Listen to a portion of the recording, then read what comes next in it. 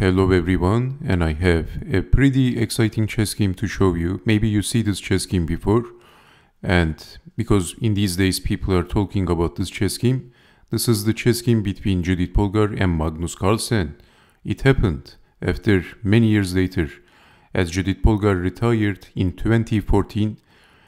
During the rest day uh, in the candidates chess tournament, Magnus Carlsen uh, on he was on the park in Madrid, Madrid, Spain. He took all the challengers, and guess what? One of the challengers was Judith Polgar herself. She appeared on the scene and she challenged Magnus Carlsen for a blitz chess game. So Magnus Carlsen was playing blitz chess games in that park and playing against amateur chess players, but suddenly he played with Judith Polgar. So let's see what happened in this chess game before showing the game, this is the actual picture about this chess game. A very nice picture. So, uh, okay, so this chess game happened only a few days ago in July 2nd, 2022 in Madrid, Spain.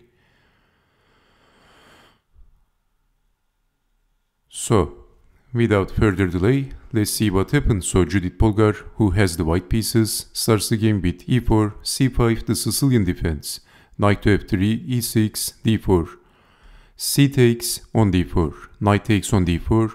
So basically they were blitzing out the moves. So it was a 3 minutes chess game, so they were playing pretty fast. And Judith Polgar castled from the queen side, and Carlsen is immediately charging on the queen side g4 and Polgar is charging on the king side. Exchanging the knights. Bishop to d4, developing the final piece and black is ready to castle. Maybe there is only one move left for castling, but Magnus uh, Magnus Carlsen is under attack, so Judith Polgar pushed the pawn. But now, isn't this just simply blundering a pawn? Knight takes on g4. And Polgar, of course, didn't capture the knight and she played rook to g1. Of course, in this position, capturing the knight is not a good idea because of bishop takes on h1 and that's losing a rook, losing the exchange. So in this position, not capturing the knight, but rook to g1 and also eyeing on g7. And Polgar herself, in one of the videos in YouTube, she admitted that uh, she actually didn't see knight takes on g4, so this was all coincidence. Defending the knight and not capturing the g-pawn but developing bishop to d3 and this was a very good move. So we have bishop to f8 not allowing uh, rook takes on g7. And in this position, I see the original video, Magnus Carlsen didn't like his position.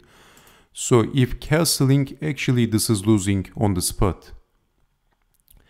Not because queen takes knight, as the g-pawn is going to be pinned, but because of rook takes on g7, this is check. Crashing in, smashing in with the rook. And basically black is getting force checkmated. King takes on g7, checking the king, king back, and then capturing the knight.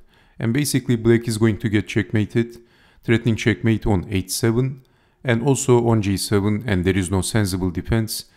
Black is getting checkmated. So Basically there is force checkmate in this position if black castles. Bishop goes back and defending on g7. Bishop to e4. And in this position basically capturing the bishop was the better move or even pushing the b-pawn according to the computer chess engine. But in this position something amazing happened. Magnus Carlsen made a blunder. Well, of course, this was only a friendly game, an exhibition game. It was not very serious. But still, it is interesting that the world chess champion made a horrible blunder. He played rook to c8, and this was a blunder of epic proportions.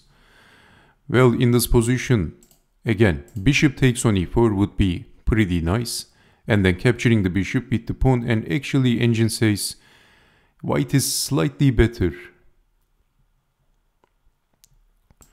So in this position we have rook to c8 and this move was a blunder. And can you see why this move was a blunder? Maybe you see this chess game before. So can you guess the next move of white if you haven't seen this chess game before? Actually, Judith Polgar played a move, and after that move, black can easily resign. It is basically all over after that move.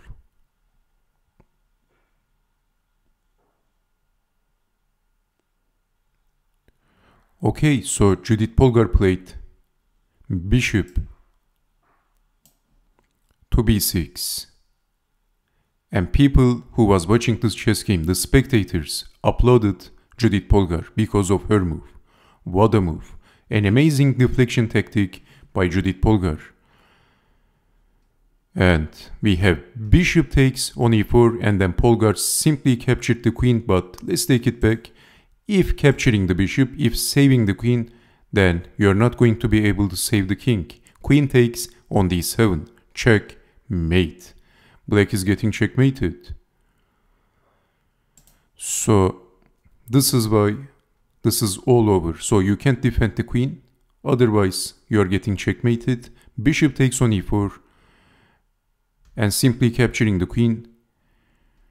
Bishop back, bishop back. And Carlsen finally placed his knight on f5. And at this moment of the game, he said something like, okay, my knight is finally okay, or something like that. But Polgar played knight to e4, and then Magnus Carlsen resigned. What a game. Very interesting, isn't it? She still got it. So in this position, actually, uh, as I said, I watched the original clip and I see how Judith Polgar played bishop to b6. She actually played this move instantly, very quickly. She immediately played bishop to b6. She saw what happens in this position. So there is, uh, this is basically losing by force. There is no defense. And bishop back, knight e4 and Magnus Carlsen resign. There is no point playing this chess game. So Carlsen didn't want to fight a losing battle. So thank you very much for watching and I hope to see you next time with more interactive chess games. So take care and bye bye.